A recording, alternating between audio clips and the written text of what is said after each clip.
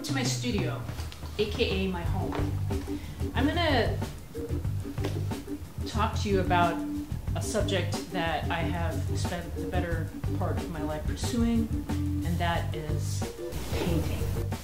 Now, I've had these paintings on my wall for, I don't know, over six months, and it's time for me to like take them off, actually finish them up, finish some hair, finish some arms, finish a few things, and then replace them with a new set of, uh, they're not canvases, they're gessoed paper, and do a new set of paintings. So I thought maybe you would find this process interesting.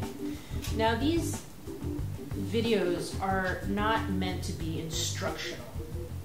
I'm not here to teach you how to paint because every painter that I have met has their own process and way of painting. We share some things in common, but we differ in a lot of the particulars. But over the course of the time that I have been painting, I have picked up a few things that I hope that you might find interesting. Now, I've been painting for about 35 years, and that's painting in oils.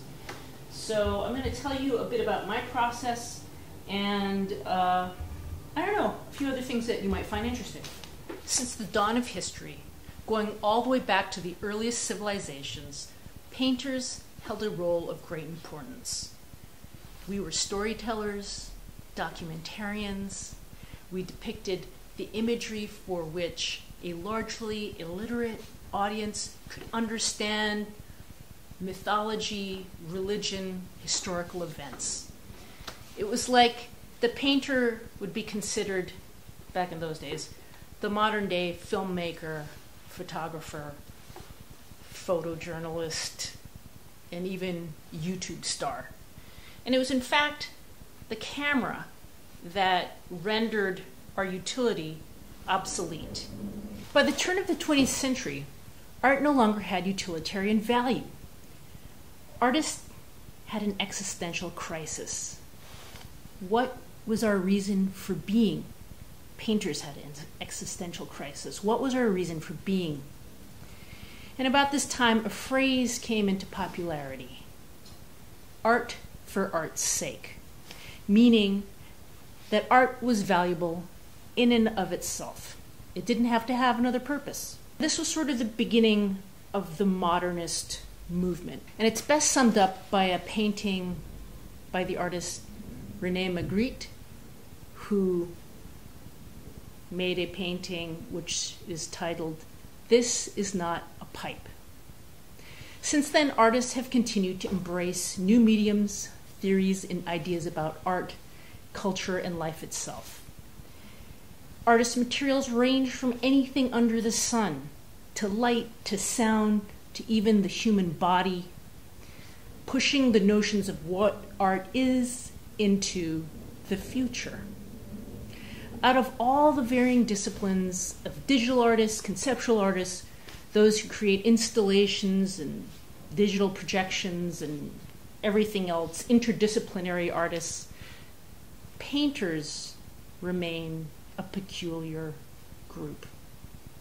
While all the other artists tend to look forward into the future, painters tend to look back into the past, even if their subject matter is contemporary.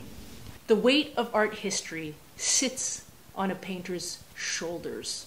There's not one painter that I know that doesn't carry on a conversation with some painter from the past, either a painter from 100 years ago, 400 years ago, 500 years ago, 1,000 years ago. We all have these painting predecessors to look back towards and think about their style, think about the way they painted, think about how they did something, and have this internal dialogue of how did you do what that person did or how am I commenting on what that person did?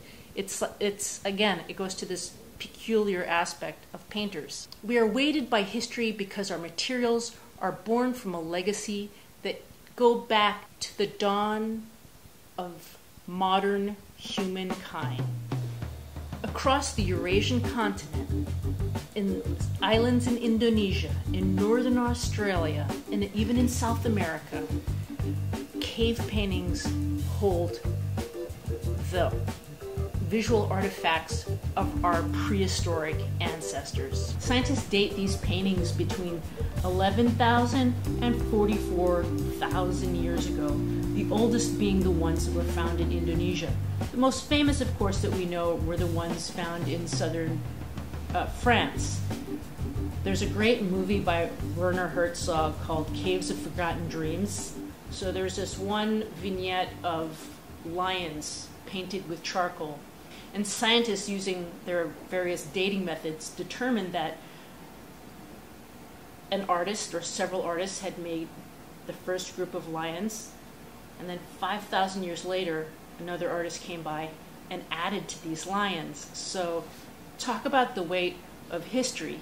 Even our prehistoric ancestors were having these long conversations with their painting predecessors. In Spain, there was a set of caves found in which scientists determined that they were painted 65,000 years ago.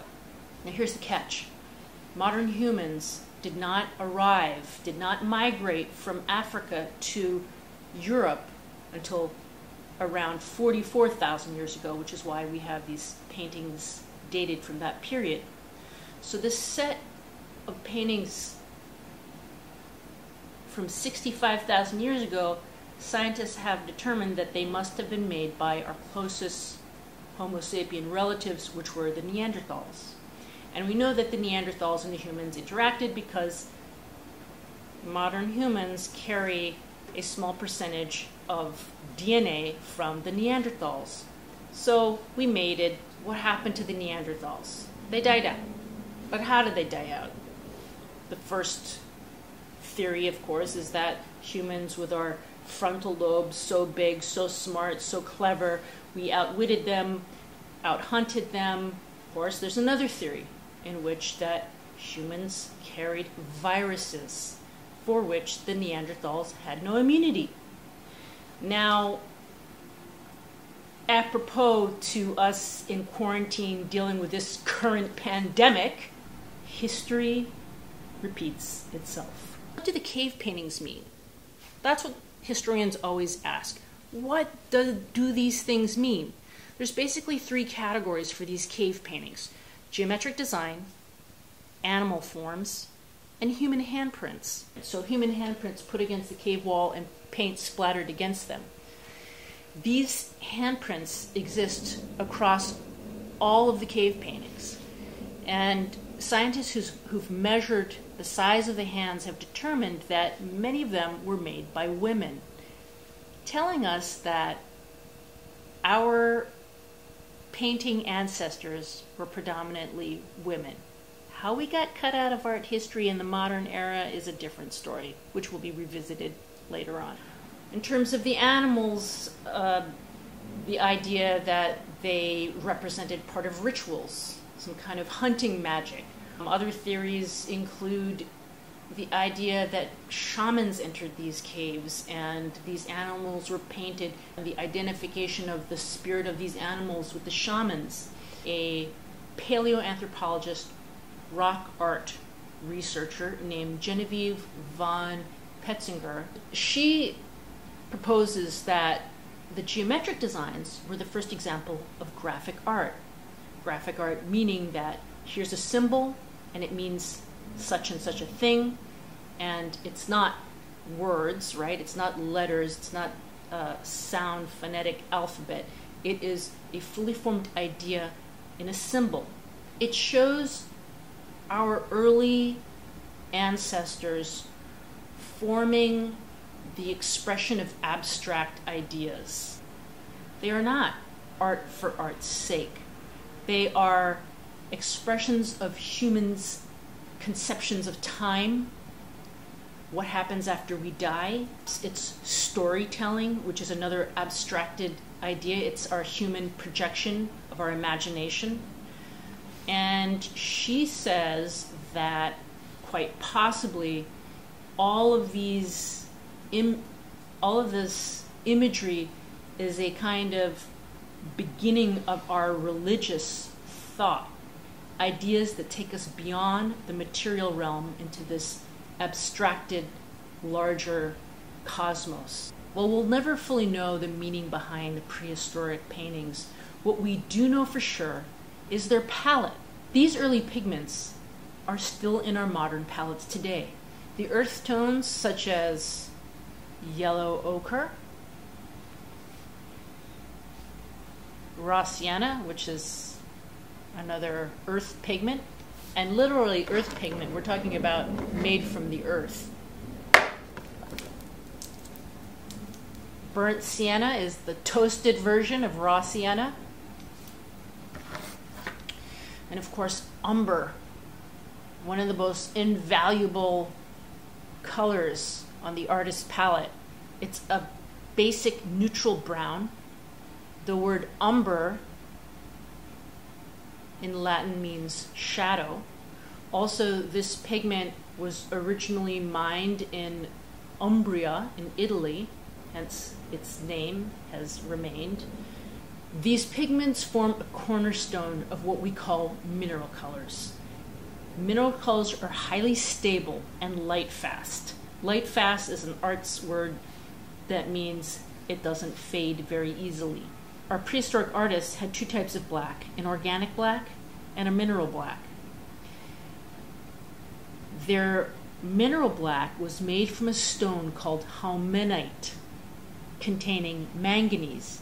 In our modern palette, we still have the same type of black, which contains manganese and other iron oxides. We call it Mars black. The organic color, what is organic? Anything that contains carbon. You and me are organic materials. We are made up of carbon. The food we eat is made up of carbon. The fossilized oil in the ground was made from organic material, carbon. So carbon black was easily made by charcoal, the burning of wood, or it was made through the burning of bones. Now, these pigments lasted throughout millennia.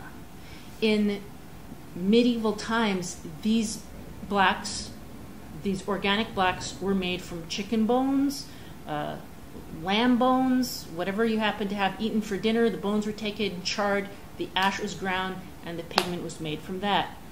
Or if you wanted to pay more money and get a more fancy bone black, you would go to the ivory collar. You would go to the ivory carver, who might have been doing decorative carvings for an altarpiece or some other jewelry or some fancy thing for a patron, and the, those shavings were taken, burned, and turned into what we still call ivory black. So today, this is probably not made of real ivory, it's made of bones. They were both the same uh, ultimate chemistry, but you know, where exactly your material came from in Renaissance time had a certain value to it. So, ivory black versus bone black, you would have charged the extra cost to your patron if you used ivory black. And another mineral red, hematite, which the Greeks called bloodstone, right? Hematite means bloodstone. And this is the little interesting corollary.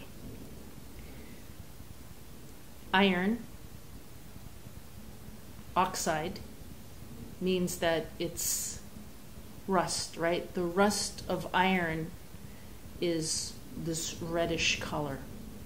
And so the earth having this reddish tone, it's the oxide of iron in the earth that gives it this hue from this warm reddish yellow to red. In our bodies, what do we contain? Iron.